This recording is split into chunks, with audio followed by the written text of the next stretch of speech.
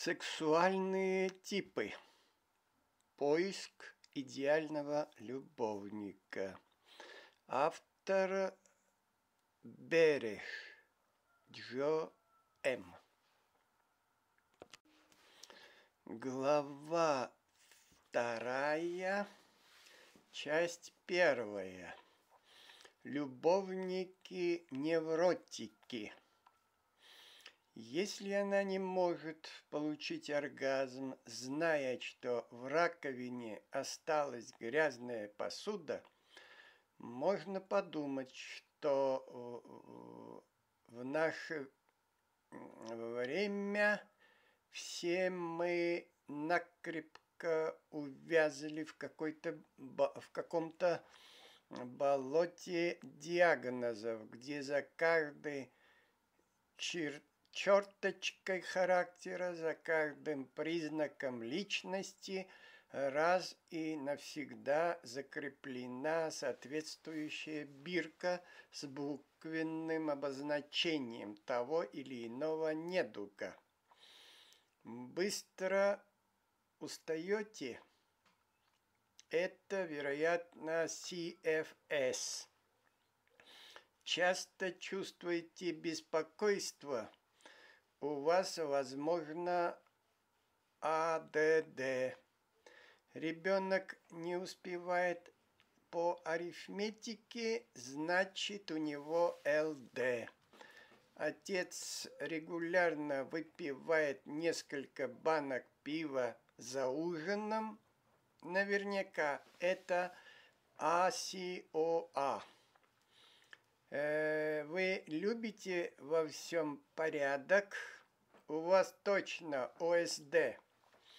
Возможно, с помощью этой буквенной абракадабры вы и можете отличить настоящего невротика от просто аккуратного человека. Но, прочитав эту главу, вы будете знать наверняка, что представляют собой, возможно, присущие вам признаки синдрома навязчивости, обычное желание несколько упорядочить свою интимную жизнь или начальную стадию зарождающегося невроза. Но в любом случае, даже если навязчивый невроз доминирует в вашей личности, у вас нет причин посыпать голову пеплом. Первое впечатление, которое производят невротики на, окружающих, заключается в полном отсутствии всплесков эмоциональности. Внешняя эффектность, в кавычках, актеров и их э, энергичное стремление быть центром внимания любой компании абсолютно не характерны для, в кавычках, невротиков.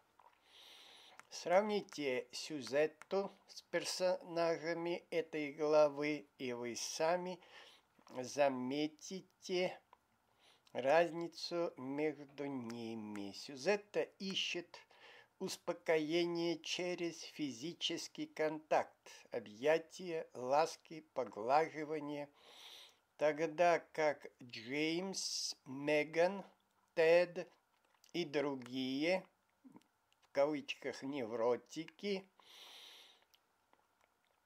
пытаются обеспечить безопасность своего существования посредством выполнения повторяющихся ритуалов и точно продуманного поведения.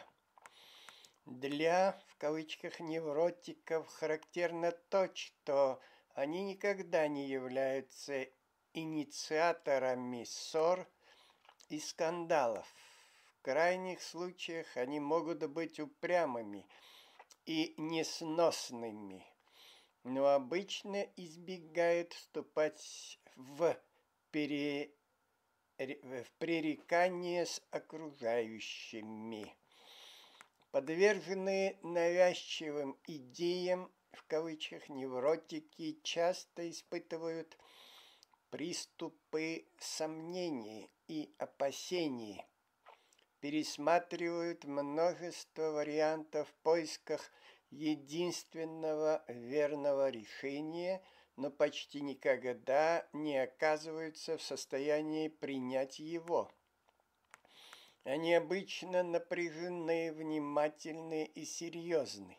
Для них крайне важно всегда сохранять контроль над ситуацией, и это стремление может проявляться даже в самых незначительных взаимодействиях, в кавычках, невротиков с окружающими. Например, они любят появляться где-либо без предупреждения. В этом случае они знают, когда и где окажутся, а вы остаетесь застигнутыми врасплох и вынуждены справляться с удивлением.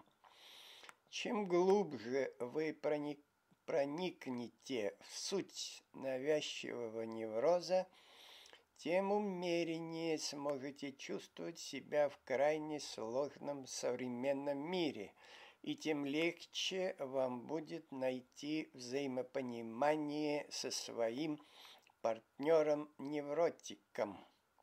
Итак, расслабьтесь, ответьте на вопросы и приступите терпим. Понимание невротических признаков в себе и других. Вопросник по определению невротического типа личности. Первый вопрос. Люблю ли я обедать в китайских ресторанах компании друзей, когда каждый заказывает свое любимое блюдо и вносит равную долю в оплату, избавляя меня от необходимости решать, что лучше заказать. Второй вопрос. Устанавливаю ли я наручные часы, чтобы они сигналили каждый час? Третье. Часто ли я посещаю управленческие семинары? Соглашаюсь ли я практически со всеми предложениями? Четвертый вопрос. Прошло ли более трех лет с тех пор, как я брал по меньшей мере двухнедельный отпуск, не связанный с работой?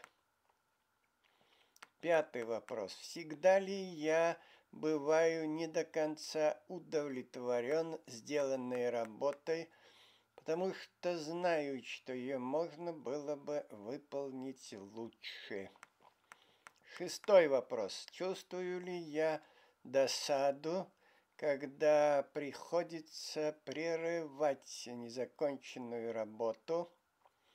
Например, если я успел подстричь три четверти лужайки и начался дождь, закончу ли я работу под дождем или отложу ее на следующий день.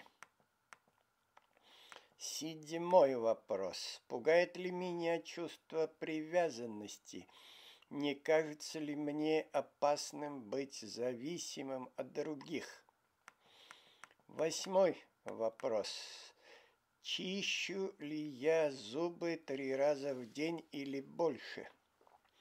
Девятый вопрос. Мучаюсь ли я над принятием решений, взвешиваю ли все «за» и «против», бесконечно обдумывая одно и то же в поисках золотой середины и выбора единственно верного варианта.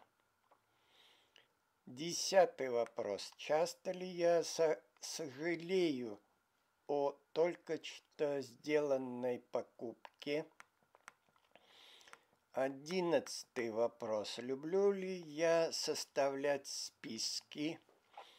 Кроме списков необходимых покупок, составляю ли я списки дел, которые нужно сделать, книг, которые нужно прочесть, дней рождения, родственников и знакомых, мероприятий по самосовершенствованию, фильмов, которые нужно посмотреть, и списки еще не составленных списков – Двенадцатый вопрос. Чищу ли я зубы зубной нитью чаще двух раз в день? Тринадцатый вопрос. Выполняю ли я все мероприятия по обслуживанию автомобиля в соответствии с инструкцией производителя? Четырнадцатый вопрос. Любил ли я в детстве собирать модели самолетов, автомобилей, кораблей и так далее? Пятнадцатый вопрос. Коллекционирую ли я что-нибудь?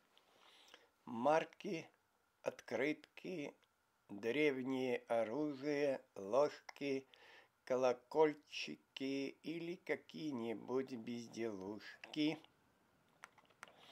Шестнадцатый вопрос. Храню ли я свои клюшки для гольфа в чехлах? Семнадцатый вопрос. Надеваю ли я чехол на свою машину? Восемнадцатый вопрос. Пользуюсь ли я при подстрижке лужайки машиной для обрезания кромок листьев. Девятнадцатый вопрос. Есть ли у меня семейные фотографии, где все одеты в одном стиле? Двадцатый вопрос. Принято ли в моей семье называть всех детей именами, начинающимися с одной буквы, например, Ким, Кевин, Келли и Керк. Двадцать первый вопрос. Тяжело ли мне выбрасывать старые и ненужные вещи, вследствие чего моя квартира превратилась в склад, не имеющих никакой ценности, корешков от билетов в кино, флаконов из-под шампуня, прошлогодних газет, баночек из-под майонеза и сломанных велосипедов.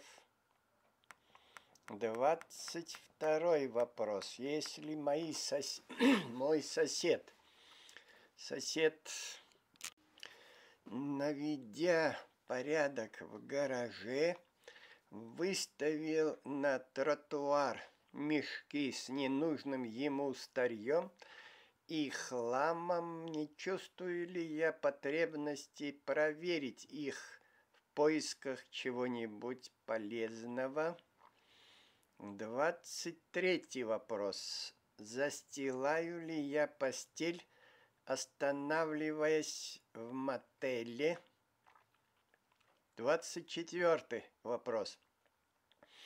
Считаю ли я в глубине души, что есть только два способа действий – мой и неправильный? Двадцать пятый вопрос. Часто ли я возвращаюсь с полпути домой, чтобы лишний раз проверить, запер ли дверь, выключил ли плиту, плиту и телевизор. Двадцать шестой вопрос.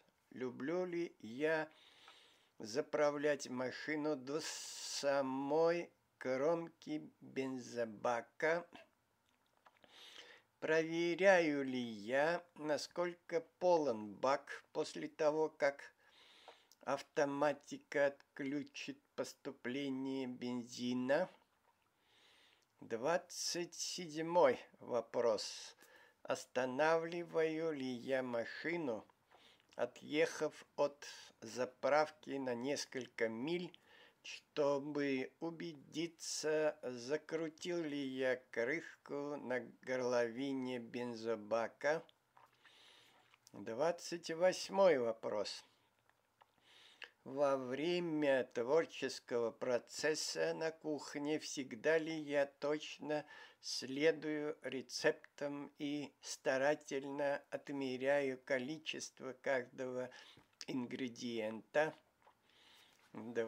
Двадцать девятый вопрос. Люблю ли я во время отдыха пользоваться высоко технологичными изобретениями, видеокамерой, музыкальным центром, компьютером, электроникой. Тридцатый вопрос. Расстраиваюсь ли я, если арахисовое, арахисовое масло, варенье или майонез, когда я намазываю ими бутерброд, покрывают его неравномерным слоем. Тридцать первый вопрос. Внимательно ли я прочитываю главные газетные статьи? Собираю ли я вырезки журнальных публикаций? Тридцать второй вопрос. Правда ли, что я никогда и ни при каких обстоятельствах не воспользуюсь зубной щеткой любимого человека? Иными словами, если мы остановимся на ночь в мотеле, пойду ли я искать зубную щетку по магазинам, чтобы только не чистить зубы щеткой любимого, в скобках любимой. Тридцать третий вопрос. Обратил ли я внимание, что этот вопросник содержит 33 вопроса, а не 17, как в предыдущей главе? Имеет ли это для меня значение? Если вы или ваш партнер ответили утвердительно – на большую часть вопросов это означает, что у вас присутствует, присутствуют определенные признаки невроза навязчивости. И эта глава как раз для вас, потому что жить с, э, в кавычках невротиками далеко не просто. Они похожи на компьютеры – никогда не ошибающиеся, раздражающие, методичные и иногда кажущиеся бездушными. Вы можете почувствовать себя замужем за капитаном Споком, выполняющим очередную миссию в телесериале «Звездный путь». Они стремятся создать идеальный мир, устранив из него все, вносящее беспорядок и хаос. Упорные труженики, они э, выбирают профессии, требующие высокой точности действий и сторонятся в кавычках творческих занятий – Поэтому в кавычках невротиков ско, э, скорее можно встретить среди ученых, бухгалтеров, инженеров, стоматологов и финансистов, тогда как актеры более привер, привержены таким, в кавычках, свободным областям деятельности, как искусство – музыка, общественная работа и все то, что обычно принято называть сферой обслуживания. Психологи считают, что человек подвержен навя э, подвержен навязчивому неврозу, если его стремление добиваться совершенства непоколебимо и всеохватывающе. В этой главе мы встретимся с личностями, отвечающими следующим характеристикам. Первое. Озабоченность деталями, организационными моментами, порядком, правилами, списками или расписаниями до такой степени, что основная цель деятельности отходит на второй план. Второе. Трудность выражения эмоций. Третье. Откладывание или избежание принятия решения, когда человек бесконечно взвешивает все плюсы и минусы возможного выбора в поисках, в кавычках, идеального варианта. Четвертое стремление к совершенству, препятствующее завершению какого-либо дела ввиду отсутствия для него жестких стандартов и требований. Пятое. Трудность в отказе от старых или ненужных вещей и предметов, даже если они не связаны с приятными воспоминаниями. Шестое. Упрямство и настойчивость в стремлении убедить всех поступать именно и только так, как человеку кажется правильным. Седьмое. Чрезвычайная поглощенность работой и стремление повысить производительность труда часто в ущерб отдыху и друзьям. Даже когда это не при... продиктовано материальной необходимостью. Восьмое. Чрезмерная щепетильность и строгость в вопросах этики, морали и нравственности. Открывается скобка – превышающие требования религиозных или культурных норм. Закрывается скобка.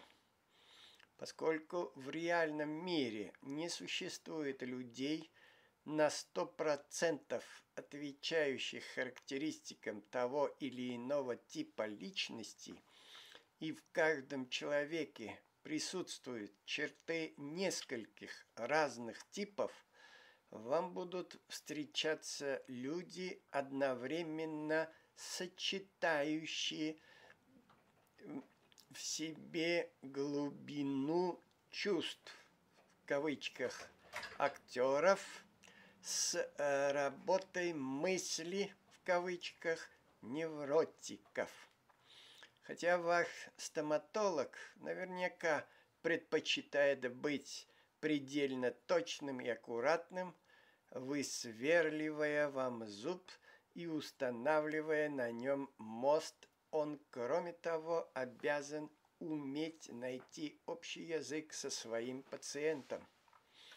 Он должен успокоить вас избавить от страха перед своими инструментами и предстоящей процедурой. Точно так же и профессиональный музыкант.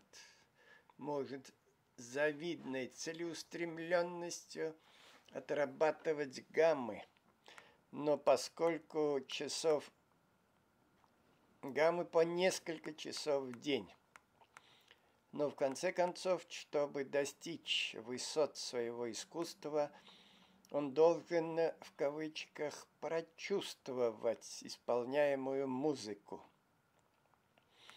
Ключевой вопрос заключается не в том, в кавычках, актер вы или в кавычках невротик, а в том, умеете ли вы сохранять необходимый баланс между мыслями и чувствами. Однако довольно, э, э, однако довольно теорий. Я хочу познакомить вас с Джеймсом. Он представляет собой более экстремальный образец в кавычках невротика, нежели те, с кем э, вы встречаетесь на работе, в оздоровительном клубе или в тренировочном зале. И на его примере мы проиллюстрируем одну из характер, характерных для этого типа личности черт. Озабоченность деталями. Джеймс. Выглядит он неординарно, одет с претензией на классический стиль, мятый костюм, неглаженная белая рубашка, слишком узкий галстук и начи э, начищенные туфли создают впечатление неуклюжего стремления следовать моде. Но это лишь начало многочисленных несоответствий и нелепостей, которыми полна его маленькая темная квартира. Беспокойный седовласый мужчина, он напряженно сидит на самом краешке удобного кресла с откидной спинкой. Его глаза внимательно исследуют мое лицо, а покрасневшие от частого мытья пальцы обеих рук непрестанно сжимаются и переплетаются, выдавая его внутреннее смятение. Это больше, чем просто нервозность. Джеймс весь соткан из противоречий. Его внешний вид, несмотря на все попытки придать ему величественность, вызывает жалость. Он возбужден и вместе с тем закрепощен, взволнован и насторожен. На обеденном столе громоздятся стопки карточек для заметок размером 4 на 6 дюймов, перехваченные широкими красными резинками – и маленькие металлические горки скрепок. Разделочный стол рядом с раковиной не заставлен посудой или столовыми приборами, как того можно было бы ожидать, а завален папками для бумаг, шариковыми ручками – степлерами и прочими канцелярскими принадлежностями. Однако, несмотря на титанические усилия, предпринятые, вероятно, чтобы придать помещению организованность и аккуратность, явственные признаки беспорядка громогласно заявляют о себе буквально отовсюду. Вот почему, желая получить первое впечатление о будущих пациентах, я иногда наношу им домашние визиты. Там вся необходимая информация в прямом смысле слова – сыплется на меня со стен. «Как вы хотите, чтобы я к вам обращался, Джим?» – спрашиваю я, пытаясь установить контакт. «Джим под, – подходящая кличка для блохастой дворняги. Его брови едва заметно приподнимаются, и я замечаю, как вздрагивают его руки, только что безжизненно лежавшие на коленях. Он явно оскорблен моим предложением, но по-прежнему контролирует себя и продолжает монотонным голосом. Мое имя Джеймс, Александр Маршал, и я хочу, чтобы вы называли меня Джеймсом. Когда мама сердилась на меня, то обращалась ко мне Джеймс Александр. Но никто, э, открывается скобка, тут впервые он повышает голос, закрывается скобка, никогда не называл меня в кавычках мистером Маршалом. Поэтому я предпочитаю оставаться Джеймсом. Я поворачиваюсь к, обед... к обеденному столу. Джеймс, не могли бы вы рассказать мне об этих карточках? Что на них записано? Это мои заметки. Я всегда все тщательно фиксирую. Э, не возражайте, если я взгляну. Пожалуйста. Я снимаю резиновое кольцо со стопки карточек, беру одну из них в руки и пытаюсь расшифровать аккуратные карандашные записки мелкими завитыми тушками, покрывающие обе стороны карточки. Хотя он и разрешил мне осмотреть их, я чувствую, что он заметно нервничает, глядя, как я бесцеремонно перелистываю его кар картонные колоды. Его старательно скрываемое беспокойство – напоминает мне о том, как я чувствую себя в собственном кабинете во время беседы с чрезмерно активным ребенком, который ни на секунду не останавливаясь успевает раскрутить мой глобус, нажать на все кнопки интеркома, подергать шторы и засунуть обе руки в аквариум, прежде чем мне удается убедить его посидеть несколько минут спокойно. После таких происшествий мой тропические рыбки несколько дней отказываются от корма. Джеймс кажется мне столь же недовольным моим беззастенчивым обращением с его карточками.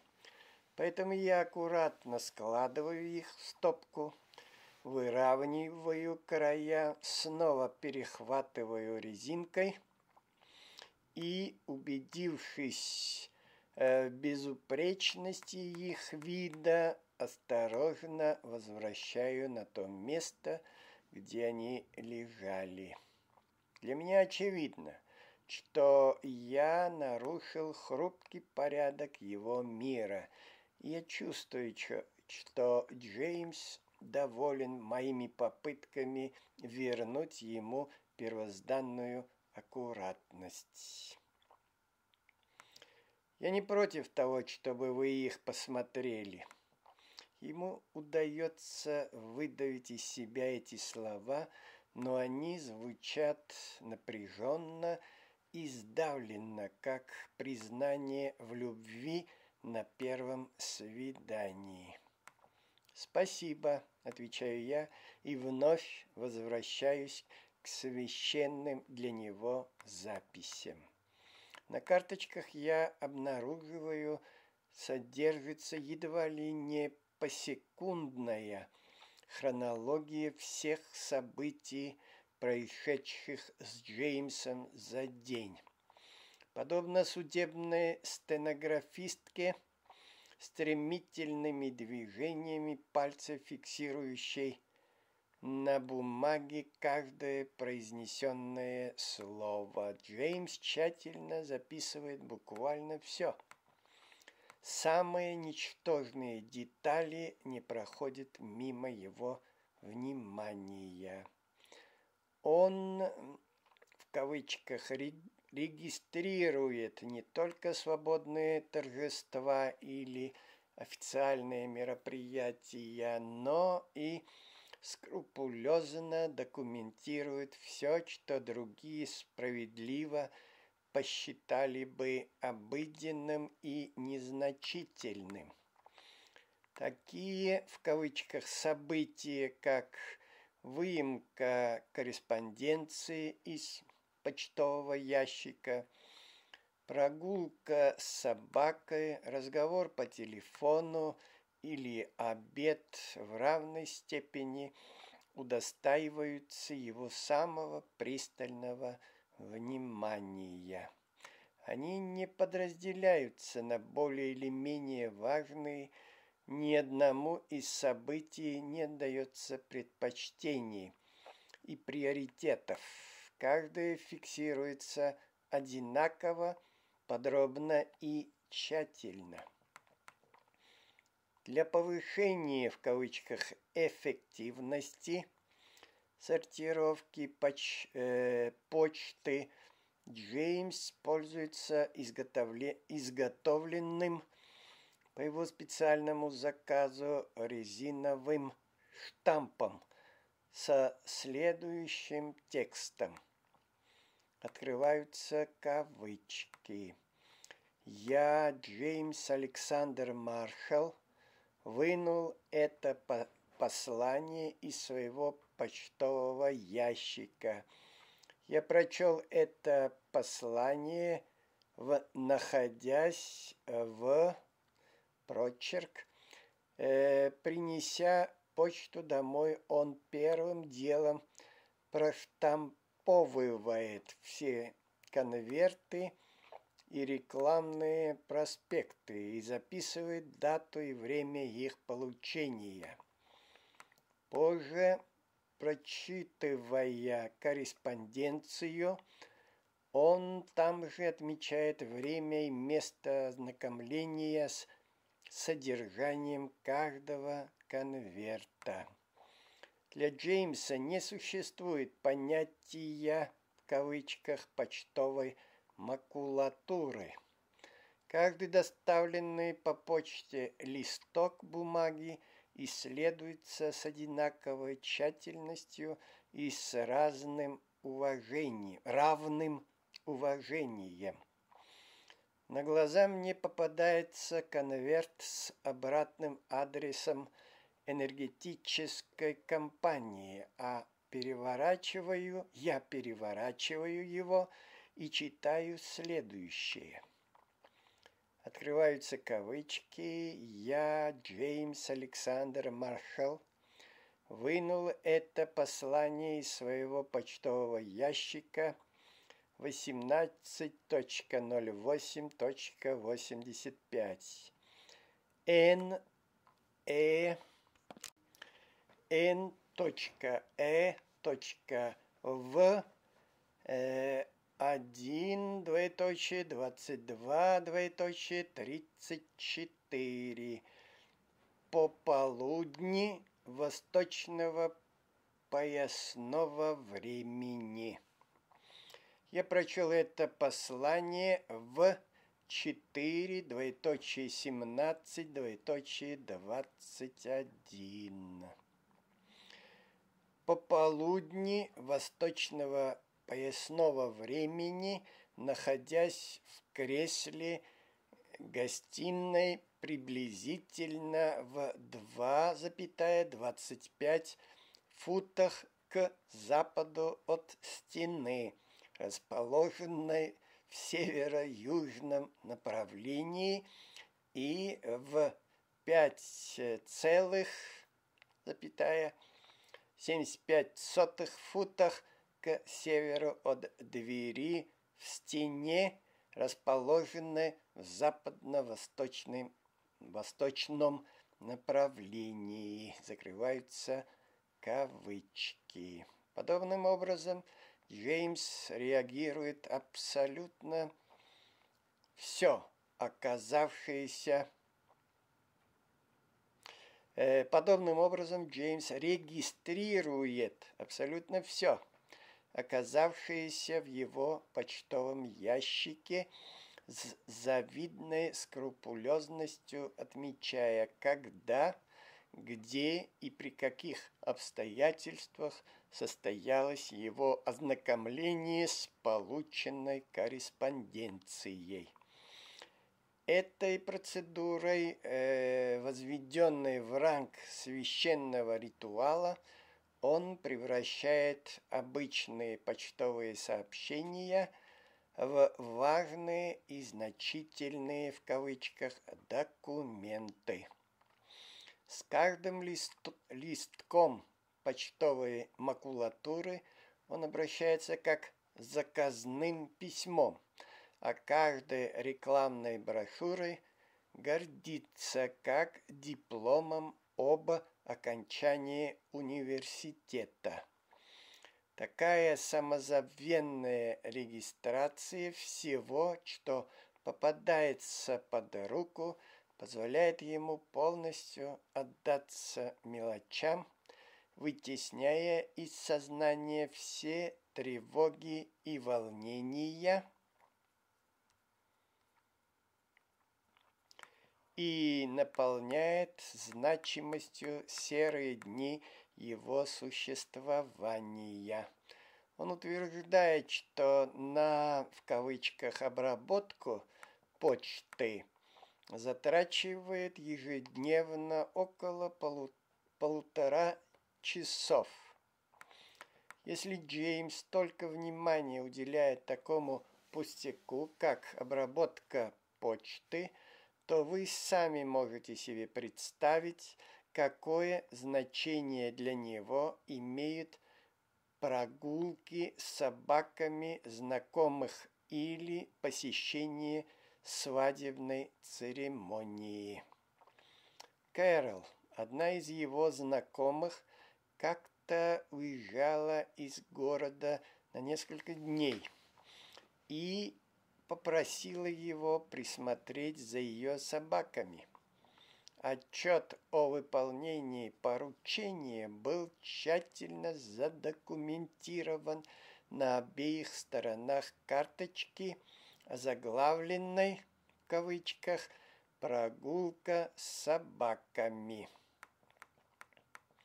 К своему удивлению, я обнаружил, что выходные Джеймс присутствовал на церемонии бракосочетания. Э, волнение, неизбежно вызванное этим мероприятием, ему удалось усмирить, заняв себя составлением подробного конспекта происходящего и использовав для этого пять карточек, исписанных с обоих сторон мелким подчерком. Э, открываются кавычки бракосочетание Джейс Алан и Дэниела Больцмана. Четвертая лютеранская церковь Денвера 14.09.85 N.E. Начинается приблизительно в 3 двоеточие 18 двоеточие 27 с, орга, с органной музыки. Открывается скобка. Опорные сваи арок отделаны натуральным деревом. Закрывается скобка. Приблизительно в 3 двоеточие 20 двоеточие 44 подружки невесты в скобках 5 и шаферы в скобках 5 идут вперед по центральному проходу. В 3, двоеточие, 25, двоеточие, 16, тире, 3, двоеточие, двоеточие 26, двоеточие 49, Джойс А идет по центральному проходу и подходит к кафедре. В 3, двоеточие 27, двоеточие 39 священник читает молитву. В 3, двоеточие 29, двоеточие 15 священник произносит речь. В 3, двоеточие 40, двоеточие 37 священник читает молитву. В 3, двоеточие 42, двоеточие 16, Ч, точка, К, точка, Ж, открываются скобки, чернокожая женщина, как объяснил мне Джеймс, закрывается скобка, приблизительно э, 20 лет, рост приблизительно 5 футов 4 дюйма, вес приблизительно 120 фунтов, поет в кавычках «Да не оставь меня» и в кавычках Божественная любовь. В 3 двоеточие 48 двоеточие 37 пение заканчивается. В 3 двоеточие 49 двоеточие 38 Джойс А произносит клятву, клятву супружеской верности Дэниелу Б в 3 двоеточие 50 двоеточие 27 Дэниел Б. говорит в кавычках согласен. В 3 двоеточие 51 двоеточие 53 священник объявляет их мужем и женой. В 3 двоеточие 52 двоеточие 17 тире. 3 двоеточие 54 двоеточие 36 b точка к точка м точка. В скобках белокожий мужчина закрывается закрывается скобка приблизительно 40 лет рост приблизительно 5 футов 11 дюймов вес приблизительно 180 фунтов молится за них, пока они стоят перед ним на коленях. В 3 двоеточие 56 двоеточие 10 он объявляет их мистером и миссис Больцман. Закрываются кавычки. Остальные четыре карточки содержат описание свадебных торжеств в мельчайших подробностях, заставляющих думать об этом радостном событии, как о тяжком и мучительном испытании. Молодожены и гости под грузом шифро... шифровок и кодов превращаются из живых и веселых людей в музейные экспонаты занесенные в заплесневелые каталоги. Вместо, открываются кавычки, кони за столом сидела напротив меня, смеялась и с удовольствием чокалась с другими гостями, закрываются кавычки. Э, он пишет, двоеточие, открываются кавычки. Она, Б.К.Ж, приблизительно 30 лет, рост приблизительно 5 футов, 4 дюйма, вес приблизительно 130 фунтов. Закрываются кавычки. К этому времени в обществе Джеймса я провел уже почти три часа и чувствует, что он начал тяготиться моим присутствием. Поблагодарив его за сотрудничество и заверив, что теперь у меня есть вся необходимая информация, я выхожу из его дома и медленно направляюсь к машине.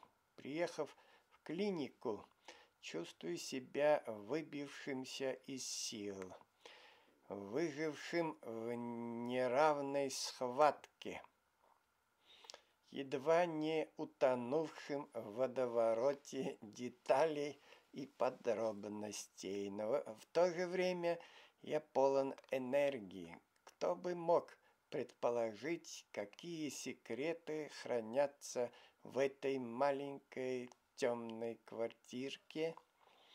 Вот почему я люблю наносить домашние визиты.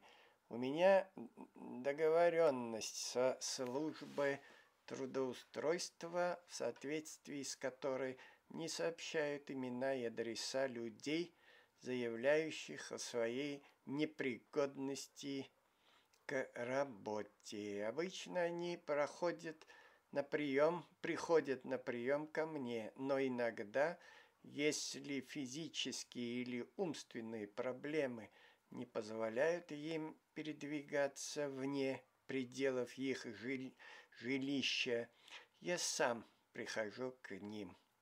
Теперь вам понятна причина этого. Многие из э, ваших знакомых, сотрудников, друзей или родственников – обладают заметными признаками навязчивого невроза.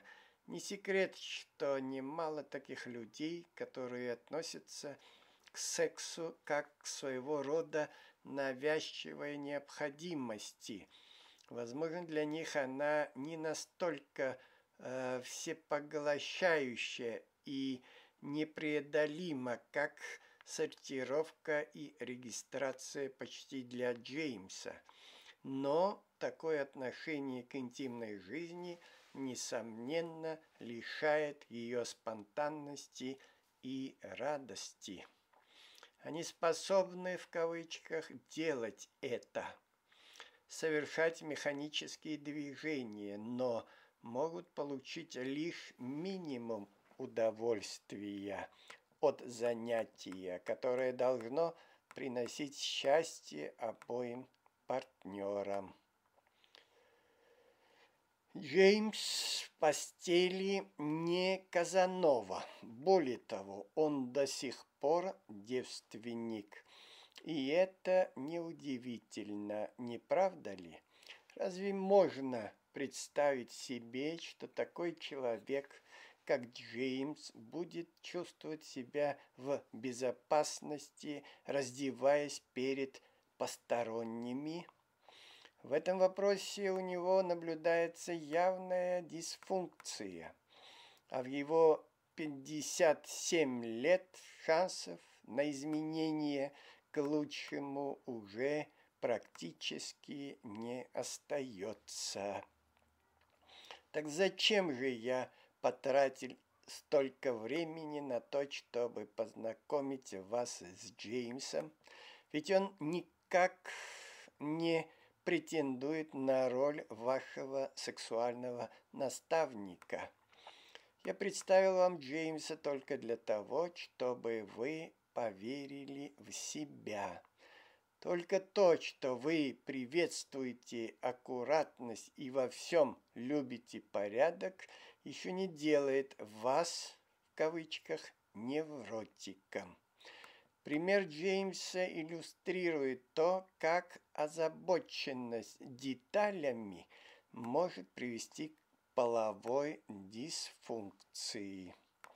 Таким обычные, такие обычные занятия, как мытье рук, чтение почти или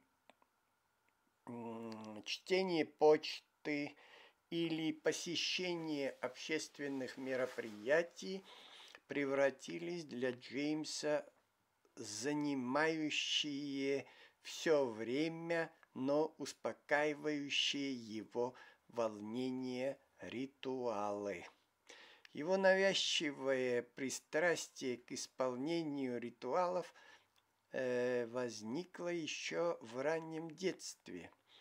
Родители часто и жестоко ссорились по поводу отсутствия денег и пристрастия отца к выпивке и посторонним женщинам, хотя у Джеймса и не осталось собственных воспоминаний о том периоде его жизни, мать позже рассказывала ему, что он был в кавычках очень напуган разводом родителей и постоянно спрашивал в кавычках, когда вернется папа. К сожалению, его отец перебрался в другой штат – и никогда больше не виделся со своими детьми. Джеймс очень смутно помнит свое детство, кроме того, что братья и сестры никогда не хотели играть со мной. Я всегда был один. Закрываются кавычки. Несомненно, что яростные стычки родителей и последовавшая за ними потеря отца являются предпосылками для возникновения постоянного состояния тревоги, особенно если мать оказывается не в состоянии успокоить и утешить ребенка. Рассказывая о матери, Джеймс говорил, что она открываются кавычки, не была расположена к проявлению чувств. Она никогда не целовала меня. Закрываются кавычки.